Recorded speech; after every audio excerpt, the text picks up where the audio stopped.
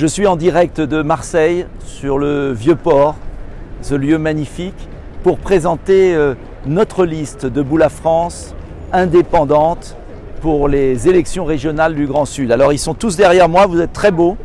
Euh, malheureusement ils ont un masque, mais on est obligé, on respecte la loi, bien qu'elle soit stupide euh, en plein air.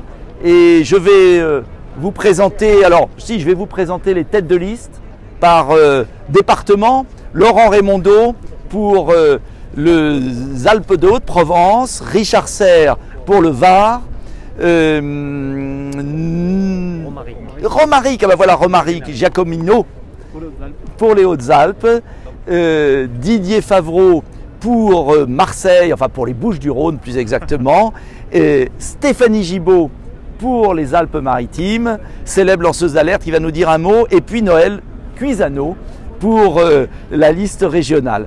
Pourquoi on est là? C'est parce que dans la mélasse politicienne, la soupe politicienne euh, de Renaud Muselier qui se disait un opposant au gouvernement et qui fait une liste avec des En Marche. Alors il dit il n'y aura pas de ministres et de parlementaires, mais il y aura des En Marche. Expliquez-moi, en gros, si ça ne se voit pas, c'est bon, tout le monde a compris. Et puis de l'autre côté, euh, c'est aussi un peu la bouillabaisse, puisque euh, Thierry Mariani était avant au Républicain, il a rejoint le Rassemblement national, il est député européen. Je ne suis pas sûr que la région soit sa préoccupation première. Eh bien, heureusement qu'il y a notre liste, heureusement qu'il y a la liste Debout la France, une liste sans compromis, une liste de gens droits, et je peux vous dire, je les connais, qui vont apporter à cette région un peu d'air, euh, de la cohérence. Cohérence. Et je vais demander à peut-être Stéphanie, qui est la tête de liste euh, des Alpes-Maritimes, célèbre lanceuse d'alerte du BS.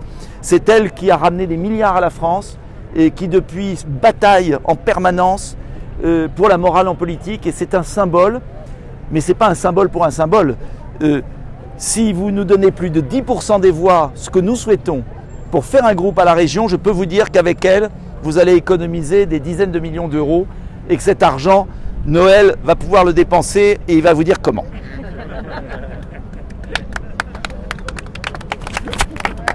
Je te donne le micro. Merci. Ne lis pas. Merci Nicolas. L'idée c'est que c'est de parler de citoyens au service des citoyens, c'est-à-dire de citoyens élus qui connaissent les problèmes des citoyens parce qu'ils les vivent au quotidien. Et qu'avec euh, cette crise Covid, on est au bord d'autres catastrophes, des catastrophes euh, notamment économiques, euh, sociales, des catastrophes aussi écologiques qui arrivent et qu'il va être vraiment important de pouvoir se lever et d'avoir une véritable crédibilité par rapport à une éthique justement euh, et d'aller chercher l'argent, de savoir où il est, à quoi ça sert et de savoir comment est-ce qu'on va pouvoir aider les citoyens. Donc c'est important d'être honnête. Moi je milite pour l'éthique en finance et tout le monde s'est moqué de moi.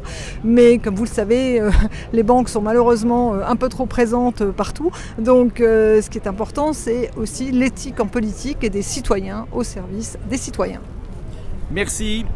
Merci Stéphanie. Et puis je passe la parole à Noël qui va vous donner les, les grands axes avec peu de temps parce que sinon après. Merci, bonjour à tous. Donc on est très fiers de recevoir notre président. Donc aujourd'hui c'est le lancement de notre campagne. Notre liste est déposée. Donc comme ce que ça vient d'être dit, donc nous sommes une liste cohérente qui voulons offrir à tous les habitants de la région qui ont un minimum d'intérêt pour cette région, qui veulent vivre tranquillement et profiter de la qualité de vie de cette région, de se positionner pour une liste cohérente. Hein. Euh, ce qui a été présenté, c'est que nous allons défendre l'intérêt des habitants, donc euh, avec euh, des projets surtout pour le quotidien de tout le monde. Nous ne sommes pas des, des, élus, nous sommes des gens qui nous engageons pour le bien-être de tout le monde et nous allons construire des projets pour améliorer la qualité de vie. Donc aussi bien dans les transports, l'aménagement du territoire et nous ferons tout pour aller au Conseil régional, avoir un groupe indépendant et faire pression sur les éventuels projets qui ne nous conviendraient pas et qui ne seraient pas portés par les valeurs que nous défendons depuis des années. Merci, à bientôt et bonne chance.